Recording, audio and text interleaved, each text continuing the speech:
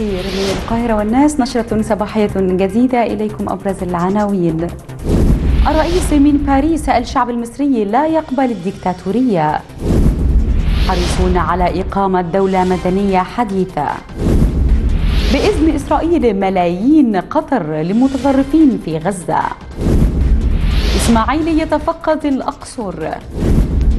بورصة لندن في القاهرة. قطع المياه عن بنها. قريبا الإنجاب من الدمى الجنسية. قصر ذهبي لإحراق ملك تايلاند. وإليكم تفاصيل النشرة. تتواصل اليوم زيارة الرئيس عبد الفتاح السيسي إلى فرنسا والتي شهدت أمس أول قمة بين الرئيس ونظيره الفرنسي إيمانويل ماكرون حيث عقد الرئيسان جلسة مباحثات ثنائية في قصر الإليزي لمناقشة سبل تعزيز العلاقات الثنائية بين البلدين والتباحث حول الملفات الإقليمية. ووجه الرئيس في المؤتمر الصحفي عقب القمة عدد من الرسائل القوية لأوروبا ومن يتحدثون عن انتهاكات حقوق الإنسان في مصر قائلا.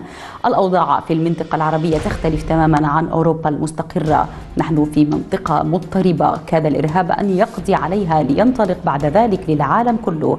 مشيرا إلى أن مؤسسات الدولة تتعامل مع التنظيمات الإرهابية وفق القانون وفي ظل محاكمات عادلة مضيفا حريصون على إقامة دولة مدنية حديثة. وأكد الرئيس أن الشعب المصري لن يقبل بأن يكون هناك أي شكل من أشكال الممارسة العنيفة أو الديكتاتورية أو عدم احترام حقوق الإنسان. محذرا من بعض التقارير الكاذبة التي تصدرها بعض المنظمات خاصة وأن هناك تنظيم مناوئ لمصر ينشر امورا غير حقيقية وتساءل الرئيس. من يتحدثون عن حقوق الإنسان؟ لماذا لا يتحدثون عن حقوق أسر الشهداء والمصابين؟ مضيفا ليس لدينا تعليم جديد أو خدمات صحية جديدة فلماذا لا يسألون عن الحق في التعليم والحق في العلاج؟ وأين حقوق المواطنين الذين فقدوا الاستقرار والقطاعات التي تضررت؟ ومنها السياحة التي يعمل بها ثلاثة ملايين شخص. من جانبه قال الرئيس الفرنسي إيمانويل ماكرون إن فرنسا تدافع عن حقوق الإنسان على إنها قيم عالمية لا يمكن أن يكون هناك شك بها ومقتنع بأن مصلحة الرئيس السيسي أن يؤكد الدفاع عن حقوق الإنسان لكنه وحده يحكم على هذه الظروف حسب الأوضاع المصرية. متابعا حريص على سيادة الدول ولا أقبل أن يعطيني أي رئيس دروسا في إدارة بلدي ولا أعطي دروسا للآخرين. وانظروا ما آلت إليه الأوضاع في العراق وليبيا. قد أردنا أن نعطي دروسا خارج السياق وأن نقضي على نظم سياسية لم تكن تتفق معنا في القيم ولكن ماذا كانت النتيجة عدد أكبر من العنف والقتل والتطرف. وتنسيق قطري صهيوني لإشعال المنطقة فقد سمحت السلطات الإسرائيلية لمسؤول هيئة الإعمار القطرية محمد العمادي دخول قطاع غزة عبر معبر إيرز ومعه مبلغ 14 مليون دولار أمريكي لتسليمها إلى التنظيمات المتطرفة في قطاع غزة حيث اعتادت الدوحة على إدخال مبالغ مالية ضخمة إلى غزة تحت غطاء إعادة الإعمار في حين أنه يتم توجيه الجانب الأكبر من تلك الأموال لصالح التنظيمات المتطرفة التي تستهدف أمن سيناء وتركز قطر جهودها على دفع المزيد من الأموال بهدف إفساد الجهود المصرية الرامية إلى استكمال إجراءات المصالحة الفلسطينية. وتستفيد قطر من تمييز علاقاتها مع إسرائيل لتحقيق هذا الهدف. يرأس شريف إسماعيل رئيس الوزراء اليوم اجتماع الحكومة الأسبوعي لمناقشة عدد من الملفات الاقتصادية والاجتماعية وتقارير الوزراء المختلفة. كان مجلس الوزراء قد وافق في اجتماعه الماضي على مشروع قانون المرور الجديد مع إحالته إلى مجلس الدولة تمهيدا لعرضه على مجلس النواب. وذلك بعد استيفاء كافة الملاحظات من جانب الوزارات والجهات المعنية. بعدها يتوجه رئيس الوزراء لمحافظة الأقصر في زيارة تستغرق يوما لتفقد عدد من المشروعات الخدمية والتنموية بالمحافظة. مستهلا الزيارة بلقاء أعضاء مجلس النواب عن المحافظة والمسؤولين التنفيذيين لمتابعة مطالب النواب ومقترحاتهم.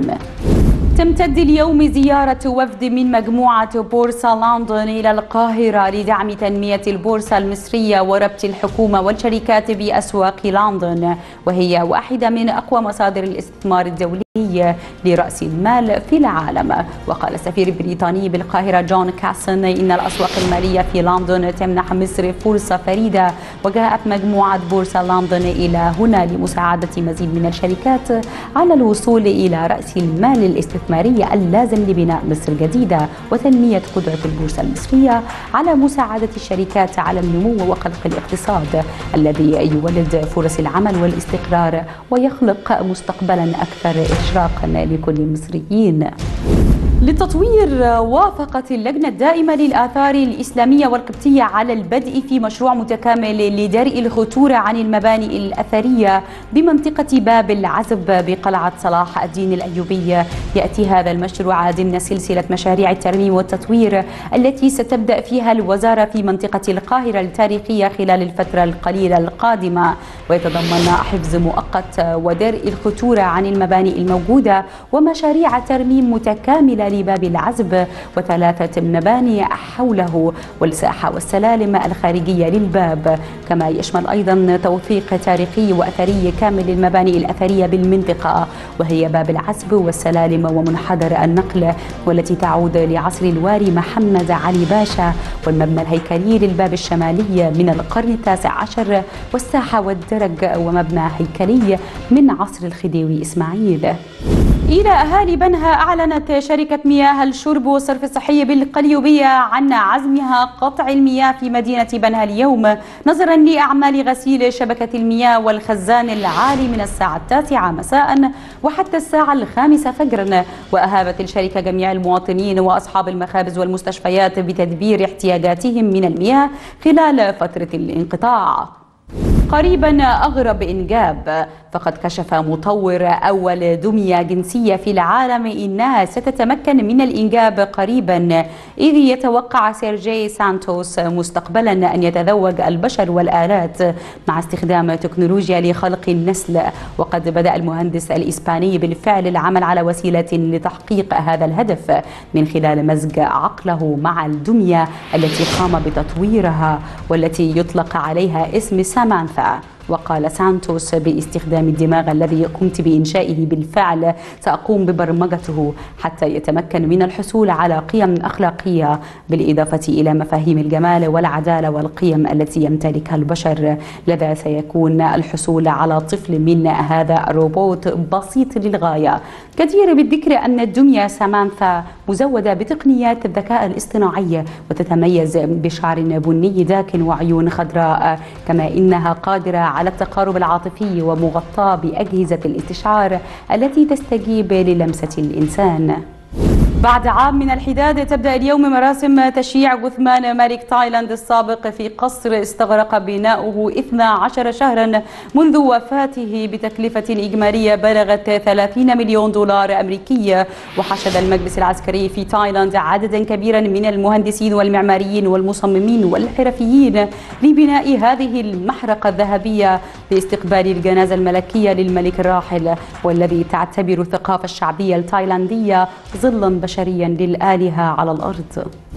توقع خبراء هيئة الأرصاد الجوية أن يستمر طقس اليوم معتدلا على كافة الأنحاء نهارا لطيف في أول الليل مائل للبرودة في آخره وتقل الرؤية في الشبورة المائية الكثيفة صباحا على مناطق متفرقة من شمال البلاد حتى شمال الصعيد. كما تظهر السحب المنخفضة والمتوسطة شمالا تكون متكاثرة على السواحل الغربية يصاحبها سقوط الأمطار والرياح أغلبها شمالية غربية معتدلة.